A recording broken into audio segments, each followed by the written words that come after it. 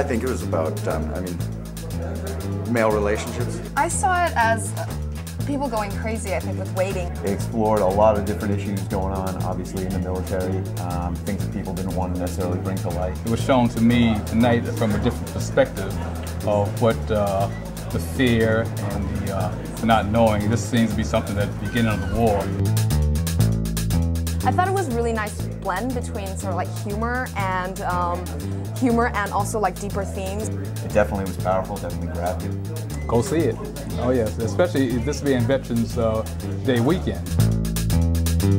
Everyone around me was, you know, edge of their seats and Yeah. People in front of me squirming, and you hear the audience say, "Oh, oh!" Everyone went, you know, because it kind of came out of left field. I just, I really, really liked it.